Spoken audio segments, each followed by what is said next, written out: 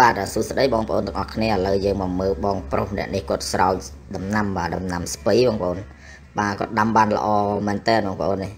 បងប្អូនណាខ្លះធ្លាប់ពីមុនមកឆ្លងកាត់ធ្លាប់រែកនេះរែកអាប៉ោតស្រោចដំណាំនេះស្រុកខ្ញុំហៅប៉ោតបាទហើយអាក្បាលវាហ្នឹងចេញទឹកមកលយណា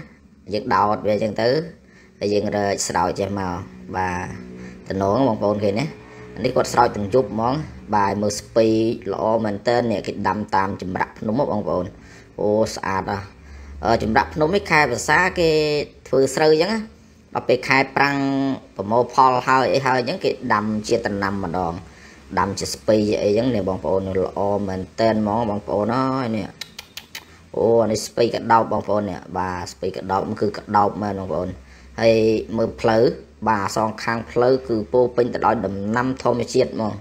នេះទៅពណ៌បៃតងបដ ாய் តាមផ្លូវបងប្អូនមើលទៅស្រស់ស្អាតហើយយើងឃើញក៏ចង់រស់នៅដែរបងប្អូនអឺបើនិយាយពីខ្យល់អាកាសវិញគឺល្អ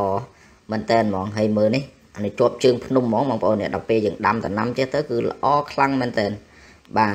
ស្រូវពេលដែលប្រមូលផលហើយយើងដាំពោតដាំ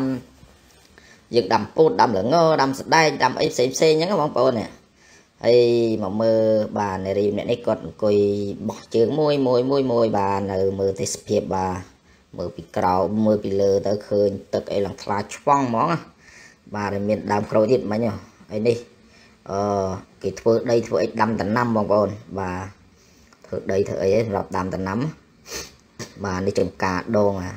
យើងដាំដងដាំអីចេះយើងនេះយើងមានស្រះមានអីចេះ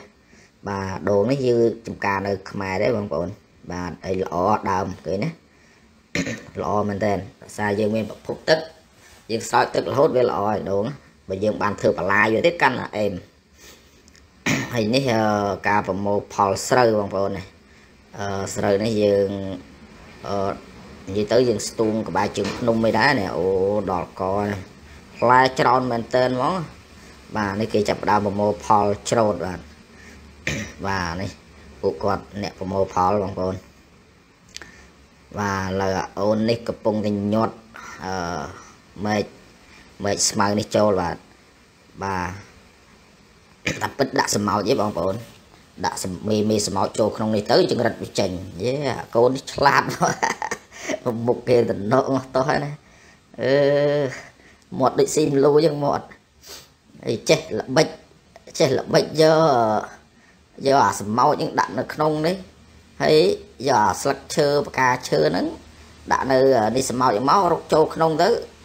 នេះចេញហើយហើយចង្រិតឲ្យខ្មុលឲ្យចេញបងប្អូននេះបានមួយចាប់ដាក់ក្របបាទ